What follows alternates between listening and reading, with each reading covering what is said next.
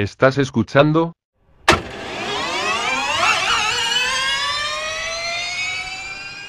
Locos por Fórmula E.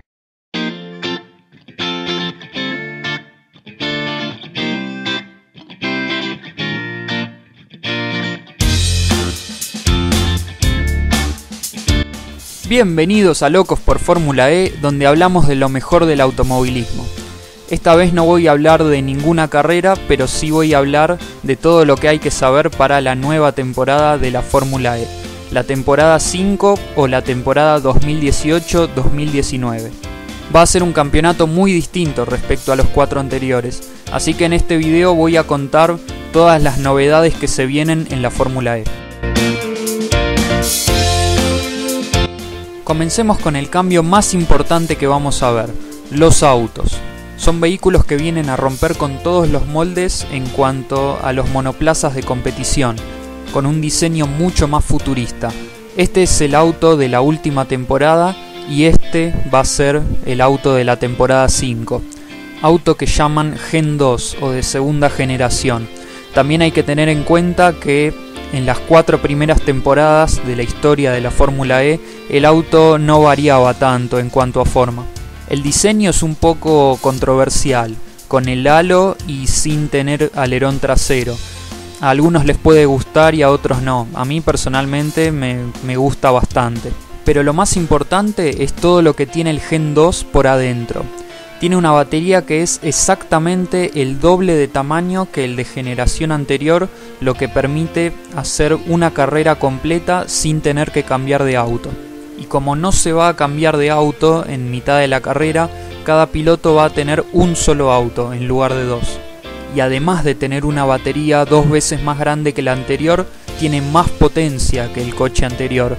Llega a unos 250 kilowatts de potencia, que equivalen aproximadamente a unos 335 caballos de potencia.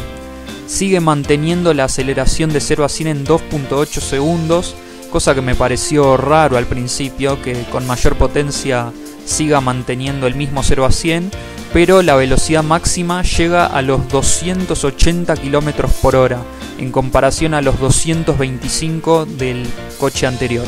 Ya desde el vamos debe ser increíble manejar un auto que llegue a los 280 km por hora en un circuito callejero.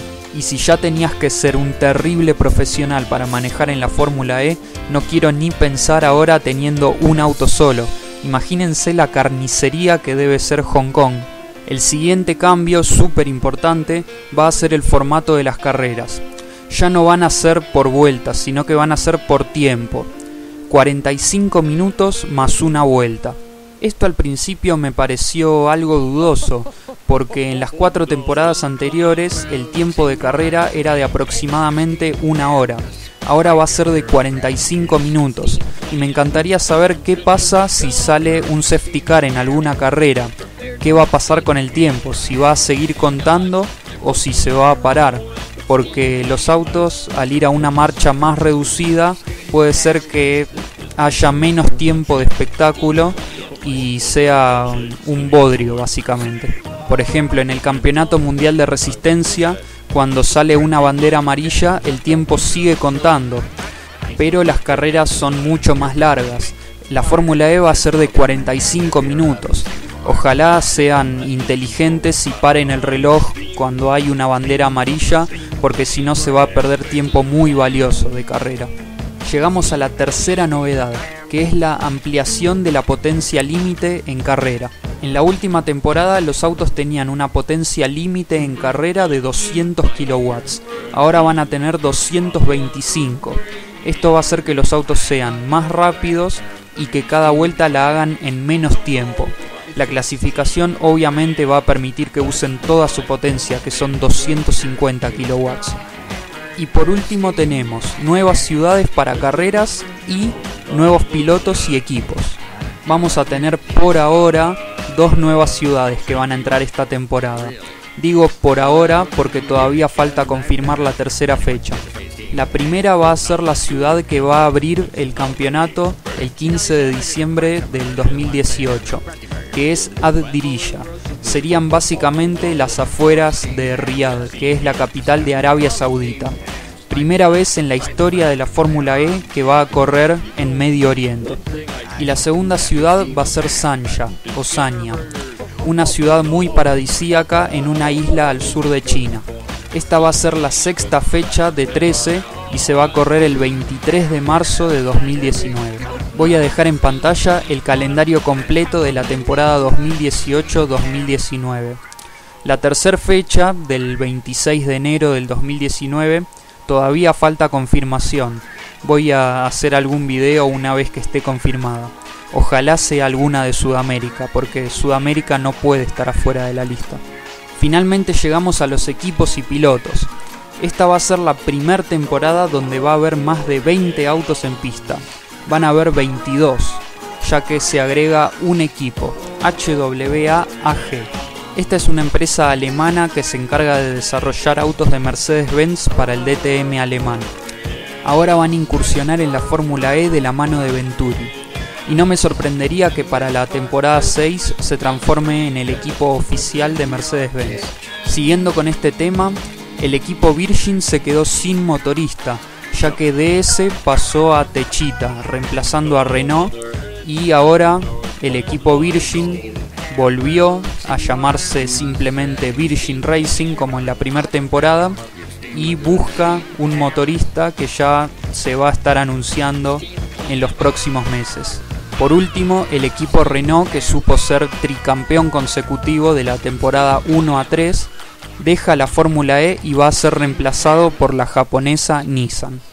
En cuanto a pilotos, tenemos por ahora, ya que faltan confirmar casi todos, una sola incorporación, que es la del brasileño Felipe Massa, ex piloto de Fórmula 1, al equipo Venturi, un fichaje que fue una bomba. Además de que siempre se hablaba de que Felipe Massa iba a formar parte de un equipo de la Fórmula E, bueno, ahora lo vamos a disfrutar en pista. También voy a estar dejando en pantalla la lista de pilotos de la temporada 5 actualizada al día que voy a estar subiendo este video. Faltan confirmar muchos, casi todos, pero no tengo duda que en pocos días van a estar saliendo novedades. Y bueno, estos van a ser los cambios para la nueva temporada de la Fórmula E, la 2018-2019. Estoy seguro que van a haber carreras muy muy buenas ya que los organizadores de la Fórmula E han venido cumpliendo en los cuatro años anteriores de manera excepcional. Lo único que me preocupa hasta ahora es el formato de las carreras, porque tengo miedo de que si sale una bandera amarilla siga corriendo el tiempo y que las carreras se terminen transformando en un bodrio. Pero bueno, eso lo veremos el 15 de diciembre de este año cuando la temporada comience en Ad Diriyah, Arabia Saudita. Por lo pronto todavía siguen con ese capricho inentendible de querer arrancar una temporada en diciembre y terminarla en julio, cuando es más cómodo arrancarlas en marzo y terminarlas en noviembre o diciembre. Pero bueno, allá ellos. Por supuesto que las carreras de la nueva temporada las voy a estar analizando todas en este canal. También voy a seguir analizando las de Fórmula 1 una vez que continúe la temporada. También voy a ver si puedo analizar las carreras del automovilismo argentino. Le aportarían bastante al canal. Espero que hayan disfrutado el video. Si así fue, no se olviden de comentar, poner pulgar arriba y suscribirse. Les mando un abrazo y que tengan una muy buena semana. Como siempre digo cuando termino, aguante el automovilismo. Chao.